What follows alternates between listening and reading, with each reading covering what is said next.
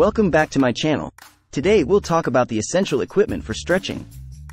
First and foremost, a yoga mat is a must-have for comfortable and stable stretching. Resistance bands are excellent for increasing flexibility and adding resistance to your stretches. Foam rollers are great for massaging and loosening tight muscles before and after stretching.